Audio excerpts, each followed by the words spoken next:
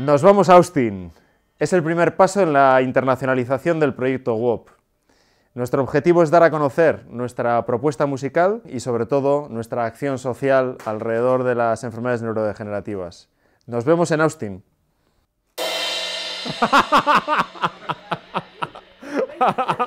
Hey, Mikel, dilo en inglés. So, we are going to Austin in Texas to be part of South by Southwest in order to explain our objectives in the music part, but also in our social activities of Welcome Project.